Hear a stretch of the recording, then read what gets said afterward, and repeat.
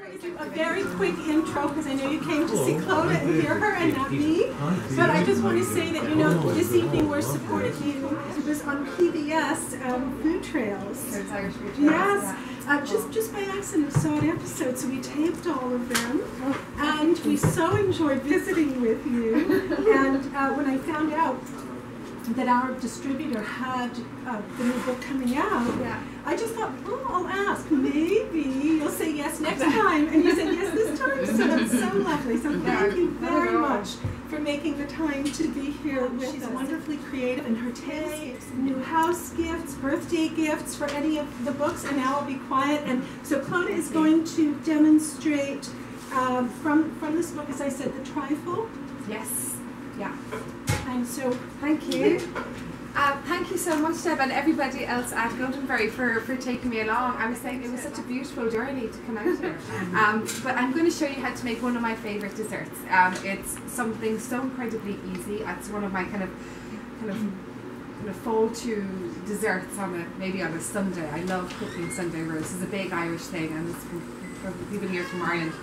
And um, it's one thing we never fail to do. Is it like the Sunday roast? And this is a gorgeous thing to make. It's um, it's a white chocolate um, Baileys. Um, I call them trifles, but it's kind of like a tiramisu.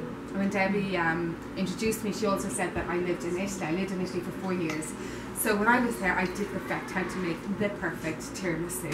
Um, my partner Peter here, he'll vouch for me, won't you, Peter? Absolutely. Yeah. I brought him along for vouching. How I cook. and um, and uh, so yeah, and I wanted to turn it into more Irish for myself because I'm using the gorgeous ingredients when I came back. Because when I came back to Ireland, um, five and a half years ago, the ingredients were so fantastic that, and I knew that because I used to run farmers markets in Ireland, that I wanted to take all of the wonderful cooking techniques that I'd learned in France and Italy, but make them Irish so that I could go, I'm going to make my lovely Irish Baileys and raspberry white chocolate trifle this Sunday, but using techniques that I've kind of accumulated. Um, so what you need um, is some really good quality coffee, um, some Baileys, obviously, white chocolate that I usually do up into shape, mascarpone, which I'm very excited to say is from Vermont. Um, lovely, some gorgeous produce, and then also um, ladyfingers, which they're like our or boudoir, we call them boudoir biscuits. So um, they they're gorgeous because are you calling boudoir biscuits too? Oh, fabulous. Okay. They're lovely and crunchy, and that kind of a lot of people used to before use you know the um, the trifle sponges and they just get soggy Yeah. and everything and they just not very so there's a tech different technique. So this is a massive bowl but anyway I'm going to fill it probably halfway. So the first technique what you want to do is and you can make this the day before so you can make this on a Saturday afternoon when you've got everybody coming around on a Sunday or else you can make them in little lovely little kind of little vintage cocktail glasses as well what I do when I'm having a dinner party Okay, so this is a good step to remember. When you're popping it into your coffee, has to be cold and only flip it in there. If you let it kind of soak and sog inside there, um, it just doesn't turn out. Food is that there are so many different facets that actually make it wonderful. Obviously, there's the flavour, which is number one. Um, but also is the texture, and it's important to remember that when you're layering, the first layer in here, and I'm going to do another layer in a second. Um, so like this. Um, I've made this a couple of times before, and a few people have asked me, can you add a whiskey into this? You can, um, but it's and I've and I've tested it with whiskey, of course.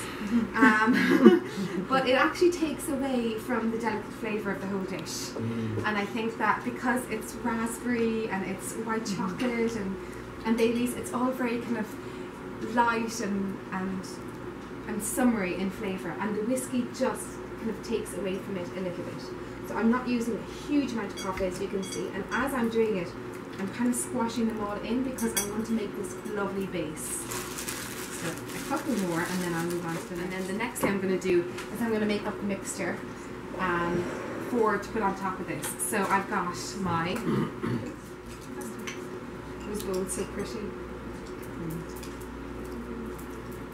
Wish I had These kind of bowls every demo I do. Burleigh from England. Yeah. Is it? Yeah, Yeah, all they're- handmade for the last like, 165 Oh really? years. Oh, they're gorgeous.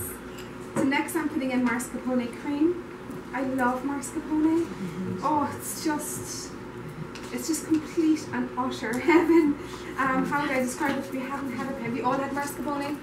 Everybody has here. no need. If you can't get your hands on mascarpone, I, I, I think I probably have the.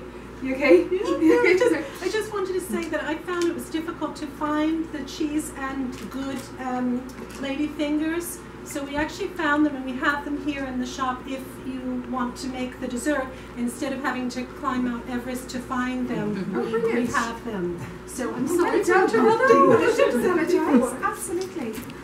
So I'm going to mix all these through. What was I going to say? Oh yeah. So if you can't find this and you're making it in a couple of weeks, what have you, um, you can do double cream. Mm-hmm. What do you what do you call double cream here? You call it heavy, cream. Heavy cream. cream. Yeah. Yeah. Thank you. But And this is as heavy in this country. That's Oh, the isn't it? No, it's not like Irish. Oh, it's not like Irish cream. We have double cream here Oh.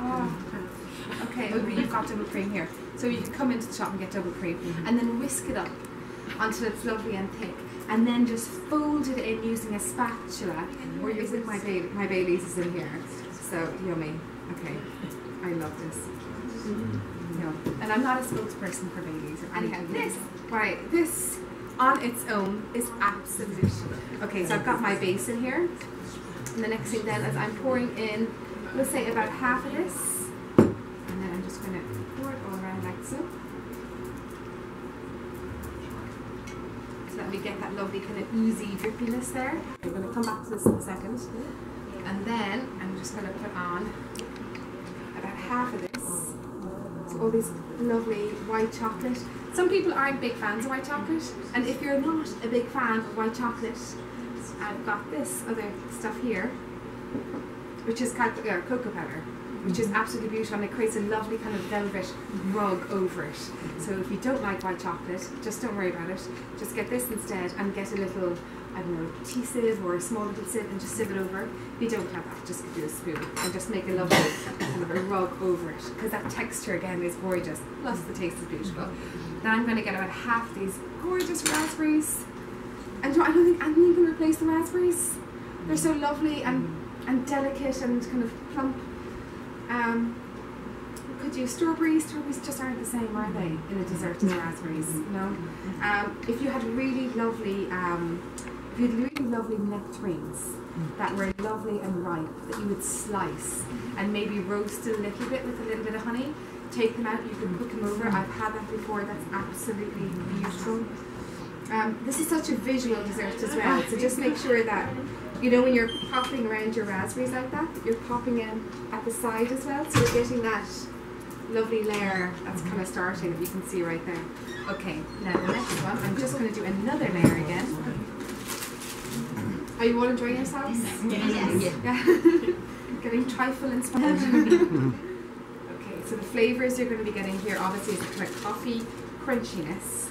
And why the reason why it's important that I'm just we call it like a creme anglaise that I made here, that's actually going to soak into them below. And you, that's why you have to have it a little mm-hmm. bit mm-hmm. not too soggy. So it's able to kind of hold it all. Mm-hmm. Okay, just a couple more. Sorry Debs, I'm using all your Now we have Your a food whole case full. I don't like to do things in their little way. Thank you. Like here. Okay, super. That's there. I always just give it a little press.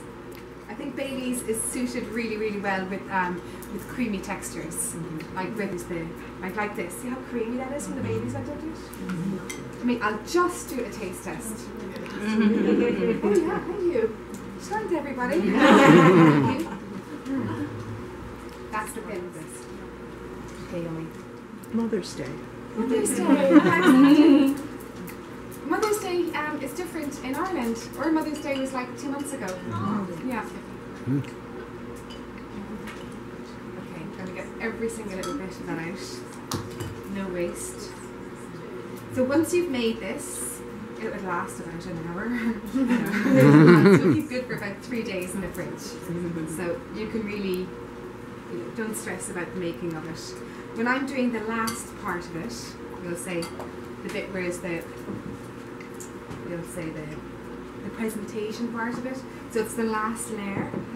Ooh, shoot, I'm just going to clean my hands there. I would usually put the white chocolate on the top so that it just looks much much nicer then. So I'm going to pop all the raspberries on the top like this. Oh, yummy. This is a great pudding because not only is it like beautiful to taste and the texture is beautiful and everything, it's total sensory overload for your eyes, isn't it? Mm, It's like you bring this to the table, nobody's going to go, oh, are they? Everybody's going to be like, it's a memory. And I love creating memories at the table. Mm-hmm. I think it's just the most beautiful part of cooking mm-hmm. and feeding people is the memory that it creates, like for everybody. Now, if I can do this in the middle of a shop in 20 minutes, you can certainly do it at home. Mm-hmm. and I promise you that, even though you didn't make it very easy by putting everything out. So this is my um, white chocolate and raspberry, um, white chocolate Baileys and raspberry trifle that you can make in any shop around the country. so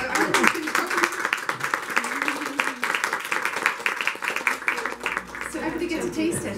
It is a little bit better, I will say to you.